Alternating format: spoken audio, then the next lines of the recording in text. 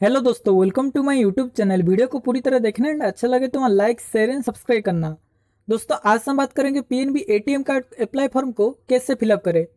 दोस्तों, अगर आप पीएनबी यूज़र है एंड पहली बार एटीएम कार्ड को ले रहे हैं तो आप ब्रांच से लेना होगा, क्योंकि पहला एटीएम कार्ड को ऑनलाइन अप्लाई नहीं कर सकते। देन एक बार एटीएम कार्ड आ गया तो पीएनबी मोबाइल बैंकिंग और इंटरनेट बैंकिंग में रजिस्टर करके कभी भी दूसरा एटीएम कार्ड को ऑनलाइन अप्लाई कर सकते हैं, क्योंकि mobile banking and internet banking में रजिस्टर करने के लिए पीएनबी का एटीएम कार्ड चाहिए। दोस्तों ब्रांच में एटीएम कार्ड अप्लाई करने के लिए एक एटीएम अप्लाई फॉर्म को फिलअप करना पड़ता है। तो चलिए जानते इस फॉर्म को कैसे फिलअप करें। दोस्तों, ये रहा पीएनबी का एटीएम अप्लाई फॉर्म इस फॉर्म को हमें फिलअप करना है। पहले यहाँ पे बीओ लिखा, यानी ब्रांच ऑफ़िस आपका पीएनबी ब्रांच जहाँ पे है, उस ब्रांच का नेम यहाँ पे लिखिए। देन नीचे डेट है डेट को दीजिए। अब जो डेट में बैंक में अप्लाई करेंगे, उस डेट को दीजिए।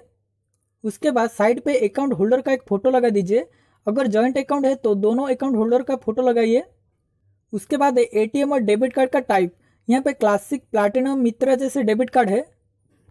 आपको जो डेबिट कार्ड और एटीएम कार्ड लेना है, उसके साइड बॉक्स पर टिक कर दीजिए। दोस्तों, आजकल मैक्सिमम लोगों को पीएनबी का क्लासिक डेबिट कार्ड ही मिल रहा है। उसके बाद यहाँ पे अकाउंट होल्डर का नेम कैपिटल लेटर में लिखिए।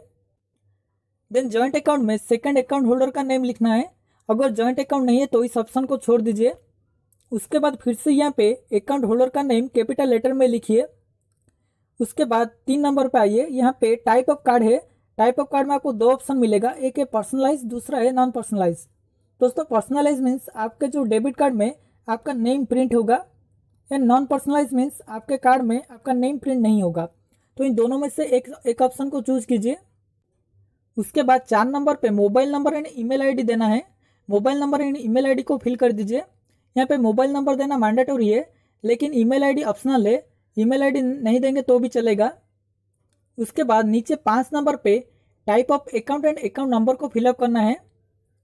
यहाँ पे मेन अकाउंट में सेविंग अकाउंट है तो एस लिखिए एंड करेंट अकाउंट है तो सीए लिखिए। देन साइड में आपका जो अकाउंट का सोलह डिजिट का अकाउंट अकाउंट नंबर दीजिए। देन बाकी कुछ फिलअप यहाँ पे नहीं करना है। यहाँ पे सब फिलअप हो गया है। लास्ट में आपको ओनली यहाँ पे सिग्नेचर करना है। दोस्तों, एक इंडिविजुअल अकाउंट में इतना ही आपको फिलअप करना है, बाकी सब बैंक वाले फिलअप कर देंगे। देन सभी को फिलअप करने के बाद इस फॉर्म को बैंक में सबमिट कर दीजिए। एंड इसके साथ आधार एंड पान कार्ड का एक जेरस भी दे दीजिए। उसके बाद एटीएम अप्लाई हो जाएगा। तो दोस्तों, ये रहा पीएनबी एटीएम फॉर्म अप्लाई करने का पूरा प्रोसेसर आप इस ऑफलाइन में आप इस तरह बैंक में जाके एटीएम कार्ड को अप्लाई कर सकते हैं।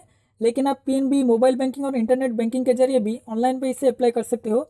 ऑनलाइन में पीएनबी एटीएम कार्ड को कैसे अप्लाई करते हैं, इसका लिंक डिस्क्रिप्शन पे है। आप जाके डिटेल में इसे देख सकते हैं। तो दोस्तों, ये वीडियो कैसा लगा अपने कमेंट पर बताइए एंड अच्छा लगे तो वहाँ लाइक शेयर एंड सब्सक्राइब करना। Thank you for watching